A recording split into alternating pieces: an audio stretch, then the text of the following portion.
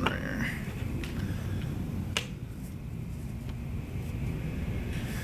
Right now he's signing the. What do you think the Nifty 50 cards? I like the thickness. It's kind of cool. Yeah. And that's, uh, I think that's my rookie card, if I'm not mistaken. Well, yeah, it would have been 87, 88. I think what they tried to do with this one, yeah, was try to get your rookie picture. So the year that you you Yeah. did the 50, they try to get that picture. So at least one of those pictures.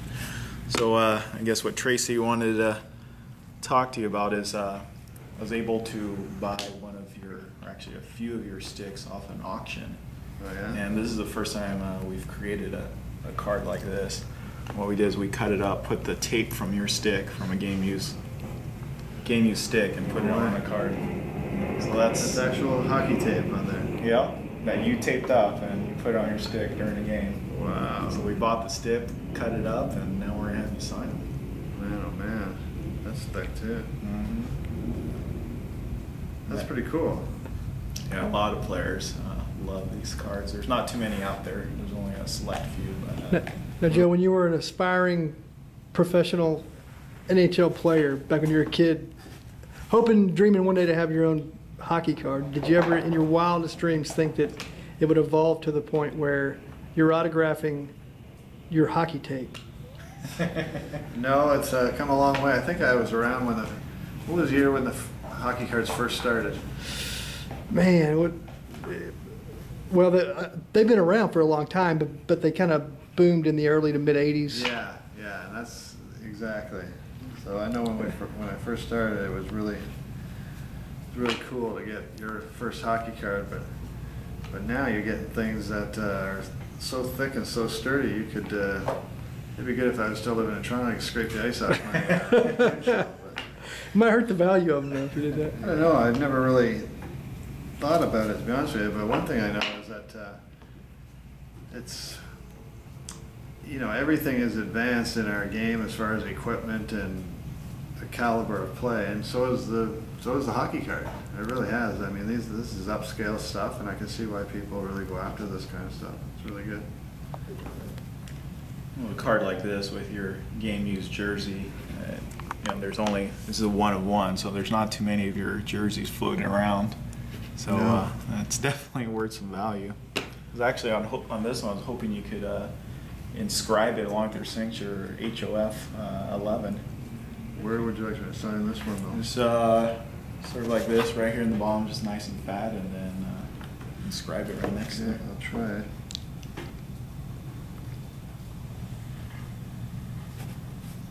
What do you want me to put? HOF 11.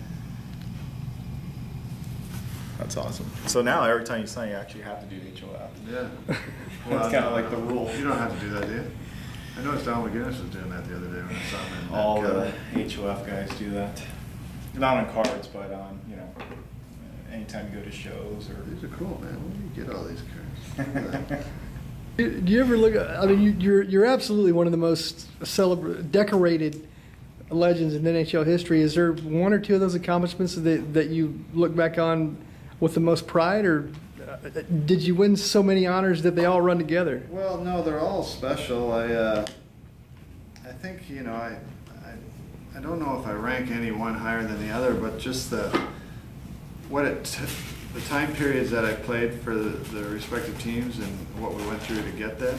I mean, starting in Calgary, uh, with a great group of guys in hockey crazy city was, uh, was awesome when we finally overtook the Oilers and, and, and won the cup. Um, you know, that was a special group of guys. But then here in here in Dallas, just the, the buildup of you know predominantly a football town Mhm. to do what we did in the mid '90s and then ultimately winning and uh, capture the hearts of uh, Texans. It was a really cool experience. So I think it was more the the time periods of building up to the championship and uh, the how we got there was kind of a neat process.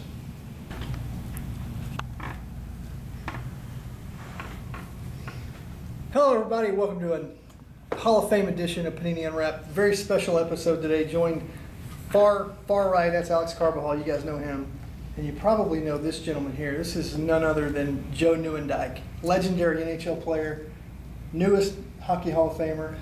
So let's see: Conn Smythe, Calder Trophy, college All-American, three Stanley Cups, Mhm. uh, soon to be Father of the Year, I'm sure. Yeah. Um, Joe, thanks for, for coming in today, man. Yeah, thanks, Tracy. It's uh, what what's it been like for you in the in the few days since the uh, Hall of Fame announcement? Uh, it's been good. It's been uh, a lot of calls, a lot of emails still that I have to get back to because I uh, I've been busy with my regular job and I haven't been able to get back to everybody. But what a thrill! You know, you play 20 years of your career and then uh, a few years later you get the call that you're going to be in the Hall of Fame with some uh, uh, players that you grew up watching. It's pretty uh, neat. It's a neat thrill. Well, it's well deserved, and, and I- I can tell you we've never had someone as legendary as you on an episode of Panini Unwrapped. So we're going to do luxury suite hockey, which is one of our newest products. Uh, four packs in this bad boy, and uh, one of the hardest parts is just getting. Getting the wrapper off. Yeah, it's As, as you open that, I just love how Joe's very busy, can't get back to anyone, but he's here with us today. yeah. We are uh, honored, absolutely, and, and Alex has put a lot of blood, sweat, and everything else into this. And- Wow. All right, so whoever has the worst pack out of us three is gonna get the fourth pack, all right? Now, as you open these, when's the last time you actually opened a pack of cards? Uh, you know, surprisingly, uh, probably at some point this year for my son. Of course, he uh, loves his panini cards, so. Nice. Uh, yeah, Well, uh, we're sending you home with some goodies, so I'll love Panini even more. So as you open these, uh, kind of just give us a little background about some of the guys or the cards or anything in general. Well, I- I'm amazed at uh, how far cards have come. You you know, the days have changed where you thought you were going to get uh, 12 cards in there, but you've got three thick ones, and they're uh, they're beautiful though. I mean, I've got uh, John McCarthy here, a young upcoming player. Of course, everybody knows uh, Pavel Datsyuk. Uh, he- he's one of the best. And uh, Stephen Camper, Ricky. a rookie, Ricky cards. and it's signed. Yes. And yeah. it's signed. Even Hard better. signed card, yeah. What do you think about when you see that Datsyuk card? What, what comes to mind? Well, I, you know, I played against him a little bit, and I, I marvel at watching him because he's still uh, an unbelievable player. Um, you know, it's hard to find a, um, a player like him as consistent as he is. Uh, just the, the, the two-way game that he plays. So I enjoy watching Pavel. I, I, I think he's probably one of the best Russians that we have in our in our game today, and uh, I always uh, I always uh, stop and watch when he's on the ice. So you make a trade for him? Uh, I, I don't know that Kenny Holland will do that, but uh, he would certainly be a player that would look good in Dallas Stars colors. Now, if if you had to have one word or a one sentence to sum up your thoughts on Dustin Byfuglien, what would they be? well, uh, mammoth power forward or defenseman, I guess. That's Uh, right. You know, he he he kind of uh, opened everybody's eyes last year with the Stanley Cup run in, in Chicago there, and uh, you know, to, to get a guy as, as versatile as this guy, he can play forward or defense, and he can play mean, he can play uh, finesse. So I think the uh, the now Winnipeg Jets have a uh, have a player that they can build around. So I got uh, got Ryan Getzlaf here with the Anaheim Ducks, uh, Nice. and he has a game used jersey in this card and game used stick. So a little bit ago, you were actually signing some of your sticks that were Yeah. chopped up. Apologize for Yeah, that. that's okay. and some of the tape.